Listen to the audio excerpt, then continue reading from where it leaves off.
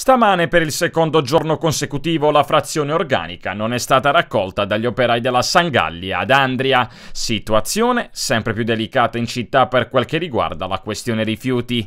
E a destare maggiore preoccupazione al momento è il totale silenzio degli enti preposti tra cui l'amministrazione commissariale del comune di Andria e l'Aro BT2. Nessuna comunicazione, nessun avviso di disservizio e soprattutto nessuna notizia di quando lo stesso dovrebbe essere ripreso ripristinato.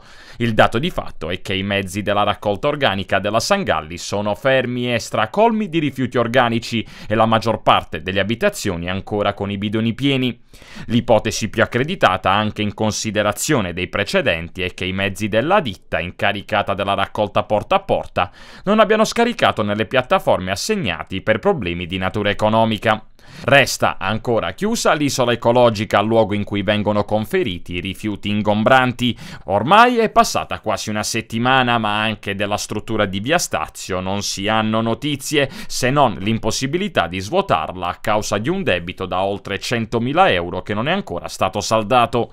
Nel frattempo monta la protesta dei cittadini che per sbarazzarsi dell'umido lo conferiscono nell'indifferenziato, creando ulteriori disagi, una situazione che si aggrava di ora in ora.